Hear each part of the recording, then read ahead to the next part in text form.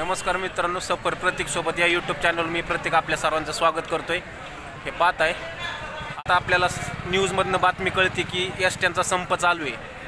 तर हे मामासुद्धा कंडक्टर आहेत. आज एस ट्यांचा संप असल्यामुळे त्यांच्यावर परिस्थिती काय आलेली बघा. त्यांचं कुटुंब आणि ते काय करतायत? त्यांची ओळखीची मामा आपली ओळख सांगा बरं. मी जगन्नाथ दत्तात्रय गाजादे दौंड डेपो हा. पुणे विभाग. पुणे विभागात आहेत का? हा दौंड डेपो वाघ म्हणून कंडक्टर म्हणून काम करत आहे. तर पण या पगारामुळं ही वेळ आलेली आहे माझ्या तुम्हाला आत्ता ज्यावेळेस तुम्ही ह्याच्यावर ड्युटीवर होता पेमेंट कितीपर्यंत भेटाय तुम्हाला अ, आतापर्यंत प पंचवीस ते तीस हजार रुपये पण हातात येते सहा ते सात हजार सहा हजार रुपये हा. मग तुमच्या मागण्या काय मांडल्यात तुम्ही तिथं आम्हाला सरकारमध्ये विलीन विलीनीकरण करून आता द्या. काय तुमचा उदरनिर्वाह कसा होतोय हे काय हे असं गवत आहे. मग हे गवत विकताय तुम्ही या बाजारामध्ये आठवड्याच्या बाजारात येतं? दुसरा बिझनेस काय तुमचा दुसरा. शेती. तुमच्या कुटुंबात किती माणसं आहेत? चार माणसं. चार म्हणजे चार माणसं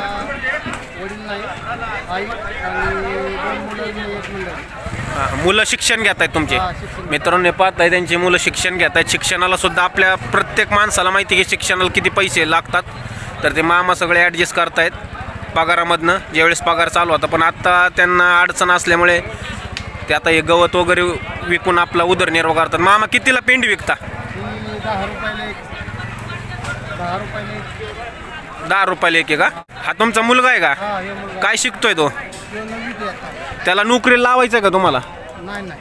नोकरीला लावायचं नाही धंद्यात उतरायचं. धंद्यात उतरायचं. नोकरीला का नाही लावायचं? हे काय या या परिस्थितीमुळे. म्हणजे ह्या परिस्थितीमुळे तुम्ही निगेटिव्ह झालात की सरकारवरनं तुमचा विश्वास उडालाय. म्हणजे नोकरी नको म्हणताय तुम्ही. काय शिक्षण नववीला घेतोय का तो? हो.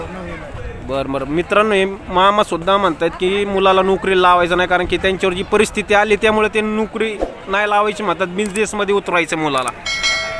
तर पिंड कितीला विकतो बाळा तू पप्पा नसल्यावर तूच येतो बाजारात. किती वर्षापासून करतोय तू? पाच वर्ष. पाच वर्ष का? बरं बरं. अजून काय म- मामा सरकारकडून काय अपेक्षा आहे त्या? काय नाही सरकारकडून शासकीय वेत शासकीय कर्मचाऱ्यांप्रमाणे आम्हाला वेतन पाहिजे. आणि शासनात विलीकरण करून घ्या. एवढी विनंती आहे? एवढी विनंती बरं बरं बरं. बाकी काय तुम्हाला अपेक्षा नाही अपेक्षा नाही. आहे चालेल. जर सरकारने तुमच्या मागण्या मान्य केल्यानंतर तुम्ही मुलाला नोकरी लावणार का नाही? पुढला विषय आला. पुढचा विचार. हा. दोन मुलं आहेत का तुम्हाला? एकच. एकच एक मुलगा आणि एक मुलगी. Okay okay. चालेल चालेल. धन्यवाद मामा आपला वेळ दिला मामा किती पेंड्या देतात तुम्ही आता यांना? शंभराच्या दहा पे वीस देतोय. वीस पेंड्या का? हा. बरं बरं चालेल. हे घरचं गवत आहे ना तुमच्या हा, घरचं होतं हा, चालेल चालेल.